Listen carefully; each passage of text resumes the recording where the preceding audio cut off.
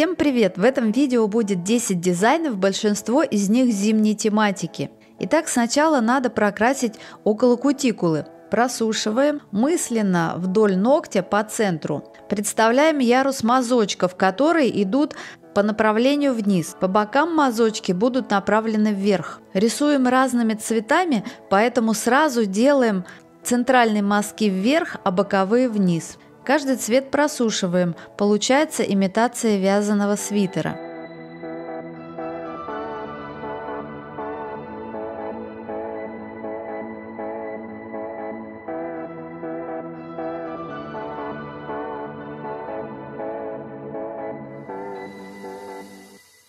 На другом ногте сделаем дизайн вязанка. Для этого сначала тушуем градиент и покрываем матовым топом.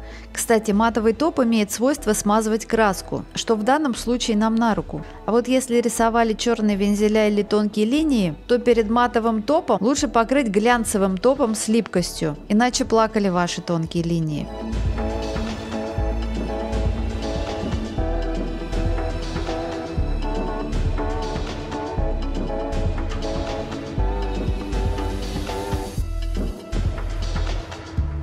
Гель-лаком ставим точки в центре и сразу посыпаем акриловой пудрой. В нее я добавила втирку для блеска. Слегка стряхиваем порошок и сушим 2 минуты. Из-за пудры точки могут не просохнуть, поэтому сушить их надо побольше. Каждый цвет сушим отдельно. Гель-лак жидкий материал и рисунок может растечься.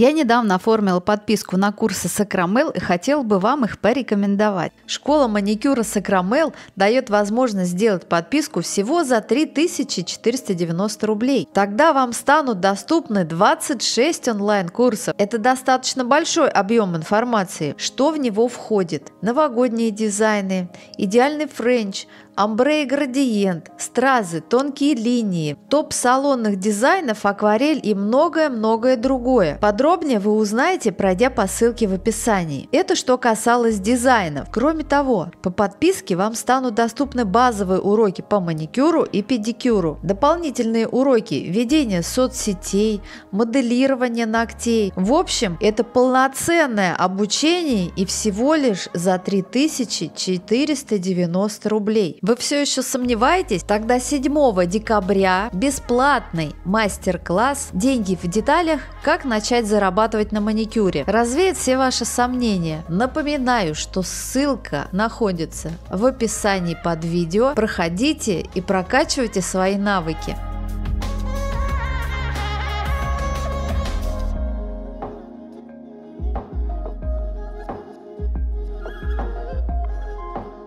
Ну все, официальная часть закончена, можно разговаривать в своей обычной манере. Сейчас я вам покажу старый дизайн, как говно мамонта. Прокрашиваем ноготь белым цветом, сушим, естественно. С краешку не нужно класть много материала, потому что там будет другой цвет. Здесь я взяла слишком светлый тон, можно было бы поплотнее, поэтому елочки на заднем плане не очень хорошо читают. Ну и дальше, как вы поняли, в белый цвет подмешиваем черный и постепенно приближаемся к переднему плану. Сейчас мы рисуем второй, более темным цветом.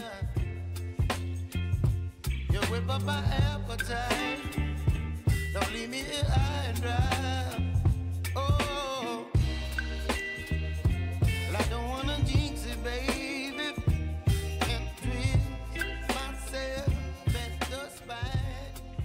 Когда будем рисовать первый план, то прокрашиваем торец ногтя. Именно для этого там не нужно было плотно белым цветом покрывать. Вот такие стилистические елочки рисуем на всех ногтях.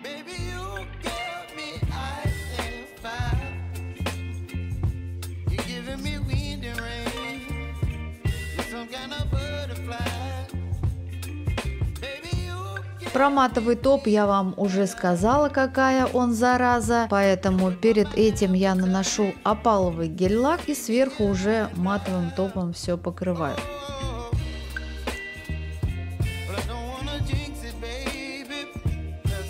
Следующий дизайн для продавцов магазина красное-белое. Для дальтоников, насколько я знаю, они путают красный и зеленый цвет. В общем, рисуем пледик такой. Вовсе не обязательно здесь эти полосочки прямо ровно рисовать, потому что потом они будут закрыты снежинками.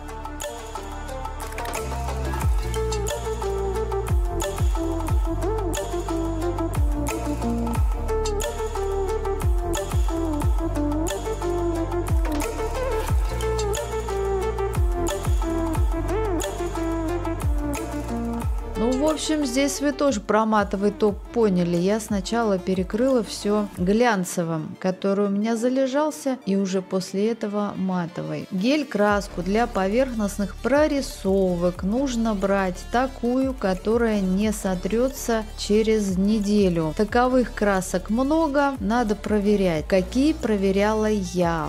У X-Nail в начале чего-то там держалась, потом спустя время она начала стираться, поэтому я ее использую только под топ. Для поверхностных прорисовок я пока сейчас использую арт-пасту Mary Nails, но она толстая для тонких линий, не очень подходит.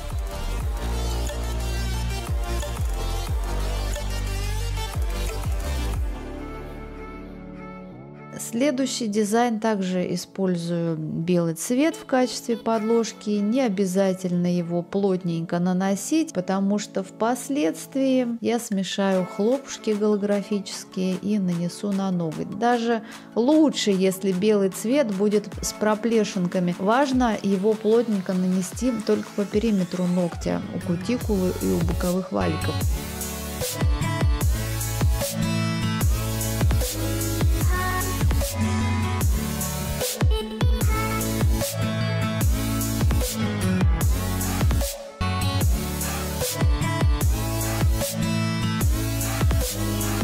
Дальше стемпинг. Спрашивали меня там ссылку. Не знаю я, зачем вы спрашиваете на эту пластину ссылку. Вот зайдите на любой Play Market, или как его там, маркет, короче, и вам выдаст кучу ссылок с, со снежинками. У меня эта пластина старая, я уже не знаю, где эта ссылка, я не полезу. Ну вот здесь я рисую как раз арт-пастой. Сначала ставлю точки, вытираю кисточку до досуха. Если я ее не буду вытирать, значит она будет толстая и тонкую ниточку она не вытянет. Поэтому сначала ставлю точечки, вытягиваю ниточку, просушиваю один ярус рисунка и дальше уже следующие точечки.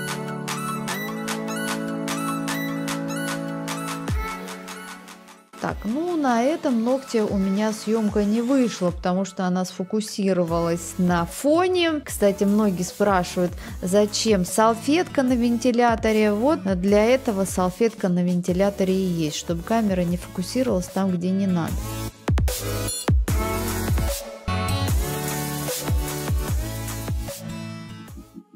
Здесь я покажу, как рисовать френч в качестве подложки опаловый гель-лак Agent Nail. Сначала ставим точечку посередине. От этой точечки влево и вправо одинаковые расстояния. Дальше выводим такие усики к точечкам, ну и закругляем. Спрашивали в Telegram, чем рисовать френч. Я рисую плотным гель-лаком. Не все белые гель-лаки плотные. Фирму я вам не скажу, потому что она была no name. На на другом пальце я покрываю серой. Тоже дизайн этот вы уже сто раз видели. Но это вы сто раз видели, потому что вы мастера маникюра, а дизайны, а клиенты ваши, может, и не видели. Может быть, им этот вариант и подойдет.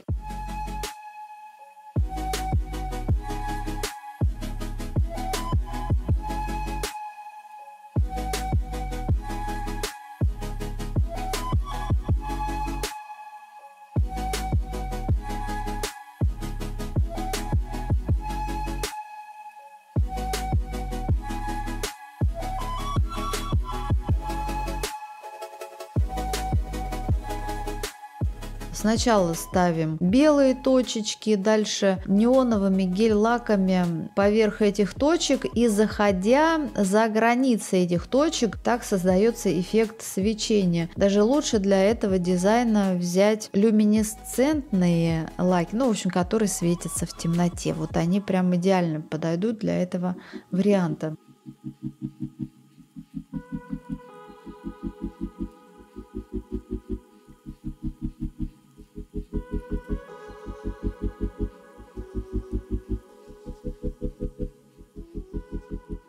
Здесь у меня дизайн не совсем зимний, но его можно взять как за основу. То есть использовать можно абсолютно разные цвета. Так как у нас сейчас, идет зима, можно взять зимние оттенки голубые, серые, синие, белые, серебристые, вот что-то типа такого. Кстати, для новогодней тематики подходит еще зеленые и красные тона. Но я не знаю, как зеленый и красный будет в таком вот варианте сочетаться. Полосочки клейкие мы клеим на снятую дисперсию, а вообще я предварительно тоже прохожусь топом, чтобы ровная была поверхность, тогда эти полосочки лучше приклеиваются, если на ребристую поверхность клеить, то они где-то прилипнут, где-то нет. Рисковать не стоит, лучше на ровную поверхность клеить.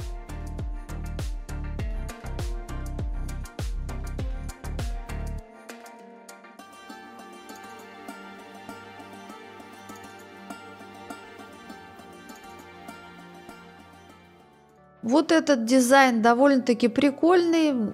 Ставим несколько капелек белого цвета, постепенно добавляем в каждую черный цвет и делаем такой, в общем, переход. Написали мне в Телеграм, что заморочено это все, что лучше стемпингом, на что девочки ей ответили, что стемпингом такой дизайн не получается, потому что точки растягиваются, и они уже не точки, а не пойми что. Но я хочу от себя добавить, что не такой уж этот дизайн и замороченный на самом деле.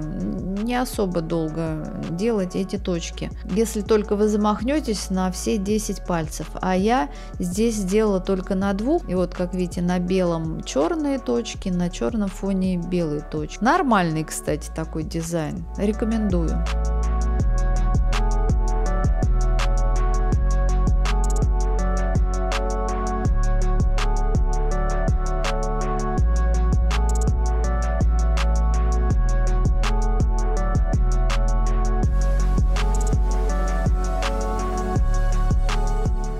Не все дизайны в этом видео мне нравятся. Следующий нравится, тоже его рекомендую. Цветочки, правда, не совсем это у нас зима, но цветовая гамма подходит в принципе. Серая, черная, белая. Ну и что тут цветочки? Да и вообще, кто хочет, пусть делает хоть неоновые цветочки зимой. Это я уж так загоняюсь для видео, потому что название у меня будет э, зимние направленности, там, чтобы люди смотрели зимний дизайн, все такое. На самом деле клиентам никто не воспрещает рисовать летние цветы на ногтях посреди зимы. Ничего такого в этом не вижу. Здесь, в общем, тоже московая техника, не особо здесь надо заморачиваться. Каждый цвет цвет просушивать. Очень все легко и просто.